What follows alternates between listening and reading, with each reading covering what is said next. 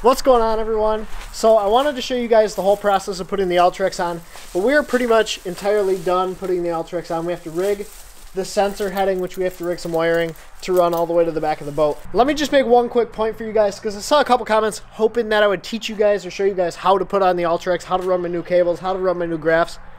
For me to do that would be like Alex Rudd teaching you guys how to drop shot.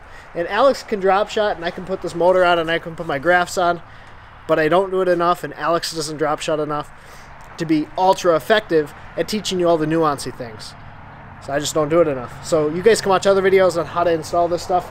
I'll just give you guys updates along the way and let you how much let you know how much that I am struggling trying to put this thing on. My dad is actually the brains behind the operation. I started this last night, had to call in reinforcements because couldn't get it done myself. Big surprise there. Guys, if you're not already, please do me a huge favor. Go down, hit that subscribe button, hit that notification button. It'll let you know when I post more videos just like this one here.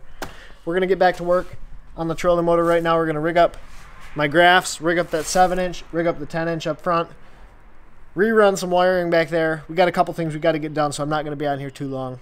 Hope you guys enjoyed today's video.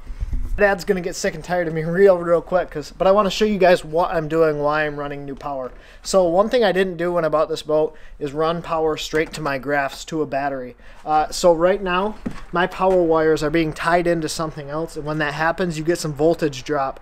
So I'm running brand new 12 gauge wire back to a, a battery just dedicated for my graphs and for my units. Um, so that's the reason that we're doing this. We're trying to make sure that I'm going to constantly have power to my graphs because especially out there on the water, you need to know where the hazards are and where everything else is. So we're going to run this new power. And I'll be honest, seeing me with a power tool is kind of interesting. Uh, and my dad can attest to that. It, it's not something that that I do very often, if I have to be entirely honest. So what we're doing to run this new wire is I'm going to pull my transducer cable, which is right here. I'm going to pull this back through the boat and I'm going to feed with it a 25 pound test piece of fishing line. And by doing that, it's going to allow me to pull this wire back through. It's going to give me something to pull the wire back through with. So we're going to tie it off to some fishing line. We're going to pull the fishing line back through, then pull the transducer and the fishing line back through again. Um, kind of make work to save time in the long run. Now the fun begins. We're pulling this bed Jesse through. I'm gonna pull a wire. and You tell me if it's the right one or the wrong one. All we, all we need, that one's already run. Yeah. Why, just pull this all up this way. Yeah, and then tie it in and pull it. Yeah. So let me explain the idiocracy that ensues when I buy the wire that has to go in the boat. I bought a 20 foot piece of wire for a 20 foot boat, which doesn't make any sense now that I've actually run the wire. Uh, the wire is actually too short, so what we're going to do is run a wire. We're going to tie it into the power at the console, and then we're going to tie it in to another wire that's going to power up front here. So you're going to have a 12 to 12. Um, this one powering the graphs up here.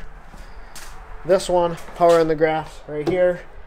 Clean wiring, keeping everything running constantly. But ugh, I'm not the smartest tool. But what we did is we took some tape, we taped all the wires together, pulled them through, then pulled them back through. Um, so that way we had all the wires run back here to the back of the boat to the batteries. And then I got to clean up the battery pit back here to put another battery in there to run my graphs off of. Well, boys and girls, Dad has headed home. We are not quite done, obviously, so we're not doing fishing tomorrow. But the Ultrex is on. We have the wires pretty much run. We have to splice them together tomorrow. That's the reason we didn't finish tonight. We didn't have the right pieces. We didn't have the right components to splice those wires together. But then we're going to mount the Garmin 1040XS up front, the Echo Map 73 up front, and then we're mounting that 7610 at the console back like it was. But I'm going to have fresh wiring to those graphs, so I'm not going to have any graph issues this season. Cleaned up a lot of the wiring. It looks awesome. The boat is is coming together. The Ultrex looks amazing. Have to run those transducers tomorrow, but man, I am pumped, super, super, super pumped to get on the water. And uh, I'll catch you guys tomorrow. Day three of working on the boat. Uh, realistically, if I had known what I was doing and I had all the parts and all the pieces and everything, we probably could have been done the first day. Um, but we didn't have everything. It would have been a long project, probably three or four hour project. And so, yeah, we're on day three. We're going to get it done tonight. And I will hopefully be going fishing tomorrow. Tonight would have been a great night to go fishing too. It's about 55 degrees outside. Tomorrow's supposed to be nice, but it's supposed to be a little bit rainy. So I'm hoping it holds off just long enough where I can get out on the water tomorrow because we will go rain or shine as long as we can get this boat done. The boat is done. The Ultrex is ready to go. We have a PS22 Panoptix transducer. It's going to be mounted all the time live view down.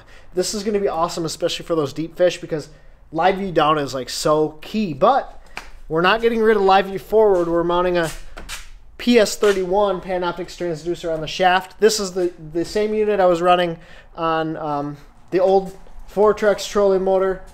Then we have our down view transducer right here. So we have three transducers on this Fortrex. And then, boys and girls, we have the Minn Kota Ultrex, 112 pound thrust, 36 volt trolling motor, spot lock right there. And there is my 10 inch Garmin 1040 XS. I mounted it on a bracket in the middle and I did that for a very specific reason. Remember that ice unit that I was using?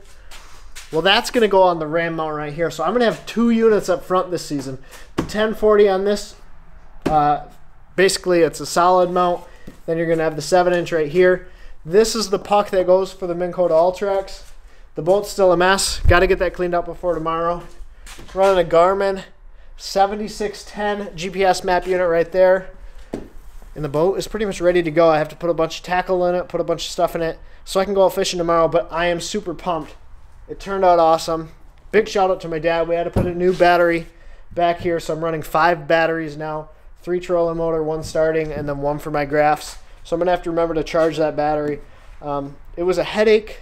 It turned out awesome. I also have to give a huge shout out to the man cave angler. His name is Terry Brown. He runs Wired2Fish he helped me out with some of the with some of the wiring and how I should route it.